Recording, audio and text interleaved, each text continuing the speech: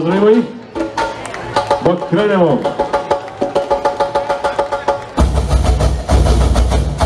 Tako je.